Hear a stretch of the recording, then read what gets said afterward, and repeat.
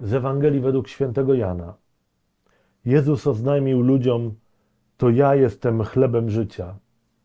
Bardzo mnie porusza, wzrusza zawsze ta myśl, że Jezus jest chlebem, czyli pokarmem najprostszym, najtańszym, każdemu dostępnym, takim pokarmem, na który e, stać dosłownie każdego.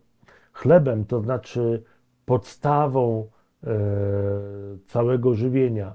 To jest coś zupełnie niezwykłego, że e, Jezus wybiera taki pokarm ubogich, choć mógłby wybrać najwybitniejsze, najbardziej wysublimowane danie z jakiejś wybitnej, rzadkiej kuchni. Tymczasem on chce być z każdym, chce być dostępny pod każdym dachem, w każdej rodzinie.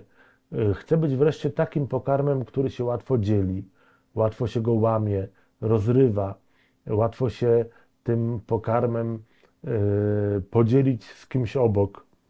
E, on chce być taki. Ten wybór chleba bardzo wiele nam o Bogu mówi. Mówi nam o Jego sercu, o Jego miłości, o Jego dobroci. Mówi nam o tym, jaki jest naprawdę. Do zobaczenia jutro.